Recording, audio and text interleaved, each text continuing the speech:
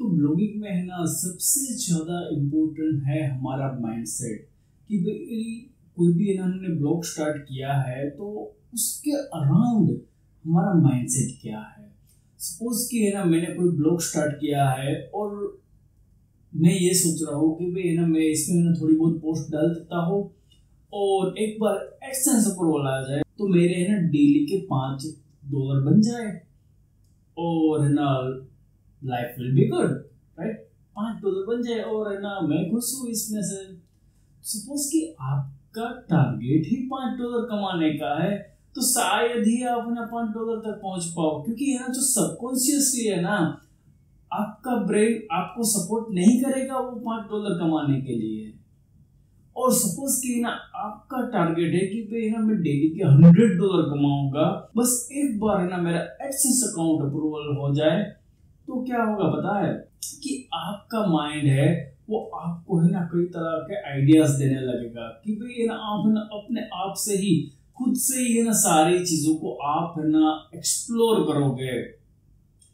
तो उसके बाद क्या होगा कि सपोज़ कि ना आपका टारगेट है कि मैं डेली के हंड्रेड डॉलर कमाना चाहता हूँ तो सपोज़ कि आपको है डेली के ट्वेंटी डॉलर ही मिल रहे हैं तब भी जाके वो है ना सिक्स हंड्रेड डॉलर हुए ना।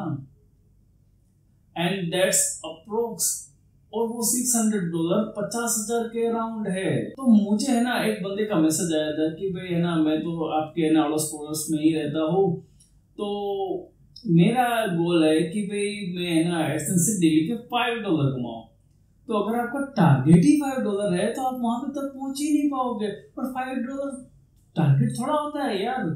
फाइव डॉलर मीन्स की मंथली का one fifty dollar month one fifty dollar means कि ये ना तकरीबन बारह हज़ार रुपए। तो इससे अच्छा तो है ना, आप कहीं पे अच्छी जॉब कर लेते और है ना पार्ट टाइम है ना ब्लॉगिंग करते। तो अगर है ना आपके एम्बिशंस है ना कोई हाई नहीं है ना ब्लॉगिंग में तो आप है ना कभी भी ब्लॉगिंग में ना सक्सेसफुल नहीं हो पाओगे। आपको है ना पहले है ना जो एम्बिशन है, वो हाई रखना है कि भाई ना, हम क्यों है ना पाँच डॉलर में सेटल हो?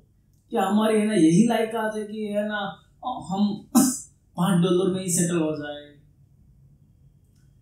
हम क्यों ऐसा नहीं सोच रहे कि भाई ना कुछ भी हो जाए, हमें तो ना डेली के हंड्रेड डॉलर तक ना पहुँचना है। और सपोज़ कि है ना आप ना फिफ्टी डॉलर तक भी पहुँच गए तो भी ना मंथली के पंद्रह सौ डॉलर हुए। और पंद्रह सौ डॉलर है ना आईनर में कितने होते हैं आप मुझे कमेंट सेक्शन में बताओ।